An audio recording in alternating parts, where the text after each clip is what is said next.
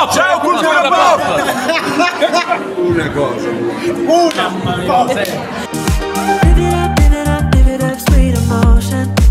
C'è una canzone che era il tormentone sul set che ascoltavate sempre o quella canzone che vi ricorderà? Beh ragazzi, allora c'era Don Raffaele. Ah, wow, wow. Perché? Però questa canzone, grazie al presente Alberto Paradossi, è diventata la canzone del barone. Perché dovete sapere che il qui presente Michele Rosiello è quel tipo di partenopeo più che aristocratico. Anzi, è un aristocratico però andato un po' in È un disgrazia. aristocratico decadente. È decadente, esiliato a Torino.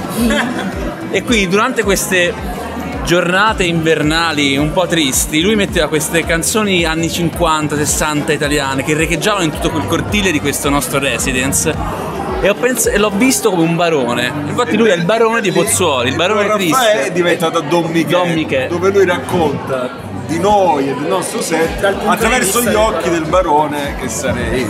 Ah, che bello Netflix, a Torino mi fanno sta, qualche volta ripenso a Pozzuoli, comune grandioso, io sono Pascià.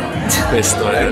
C'è un video di questa canzone. Mi sa che mi sono fatta un'idea, ma chi era che sul set faceva più scherzi? Diciamo che dovevate fare attenzione? Lui in realtà era quello più sottovoce, cioè lui era Un'eminenza grigia. Sì, lui era, era più subdolo, lui non si faceva sentire, invece io, con la scusa che avevo il personaggio un po' così, un po' fuori di testa, ho mettere la qualsiasi. proprio la licenza di uccidere, nel senso potevo fare qualsiasi cosa.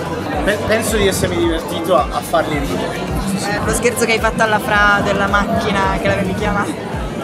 C'erano due camper, camper trucco e camper parrucco.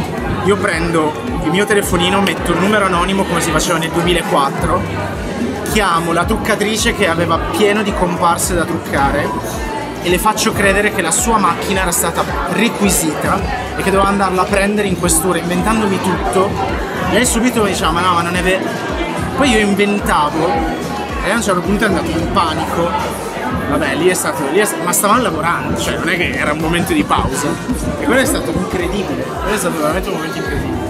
Io mi sento molto Alice Bassi, cioè eh, a parte che il mio guardaroba è uguale al suo, vorrei, vorrei avere una casa come la sua. Eh beh, Eh, chiunque, chiunque. Ma quanto è bella quella casa? Eh, sì. Ma, ma- E- ma devi girarci in quella casa però, perché era un bunker. Sì. Se sembra eh bellissima. beh, è una bella ma casa, un non è un, non è un bel set. C'aveva Ah, proprio il sole addosso, era un solare. vuoi, vuoi le vetrate ad arco? Eh, Sì, eh, sì. eh. Se la porti via così. Noi siamo di cultura pop e volevamo farti qualche domanda. Innanzitutto farti complimenti. Eh, io mi sento Alice dentro, io mi sono ritrovata tantissimo sì, vicine a noi. E eh, ti volevo chiedere, Alice, eh, che, che musica ascolta secondo te? Per me Alice ascolta la- le musiche un po' degli anni 90, che sono poi quelle sono Britney Spears, eh, le, le Spice Girls. In realtà poi vabbè Bibi ha avuto la sua visione molto più moderna, sicuramente sa molto più di musica di quanto ne sappia io. Eh, però il mio mondo è stato, che è un po' quello di Alice, un po' quello delle colonne sonore anche dei film, per cui tutte le colonne sonore delle, delle commedie romantiche degli anni 90, da Notting Hill a Bridget Jones, sono quelle che io ho sentito per, per Alice, insomma, la sua storia. Sì, infatti lei eh, nel libro, nella scena in cui è in macchina, ascolta gli ABBA. Sì, sì, sì, io, io adoro gli ABBA e Dancing Queen, anche perché per me c'era proprio un significato fatto che lei si sentisse la reginetta del ballo, che finalmente cioè, devo, devo dar- farmi forza, Paola le aveva detto che doveva essere più smart insomma, sul lavoro, farsi vedere, e quindi lei va gasatissima, e fa ovviamente una solita figura alta, ma, ma ci crede in quel momento, quindi ascolta Dancing Queen. Sotto il letto nasconde le sue vecchie videocassette che sono quei film che un po' sono una coccola, quando tutto va male alla fine tiri fuori il film del cuore, eh, che sono per lei le commedie romantiche appunto di Notting Hill, Pretty Woman, Ghost, eh, che poi non è proprio commedia Ghost però, e, e sono quelle la sua, la sua comfort zone, no? quando tutto va male però sai che guardando quei film, bene o male la cosa invece andrà bene, perché lì quando finisce finisce tutto nel migliore dei modi. Sì, E, per- ah, ne ha sicuramente una preferita e, e poi sono rigorosamente delle VHS, per cui Certo. quello che è per la musica il vinile, diciamo per noi amanti anni 80 sono VHS. Alice è sicuramente cultura pop, perché infatti Sì. anche noi siamo un po' nostalgici, sì, ci piacciono i vinili, Io ci ho piacciono... una videocassetta incorniciata a casa, Ah. che è la, che chiamo la mia numero uno. Che- è praticamente la, la mia numero uno è Lady Hook.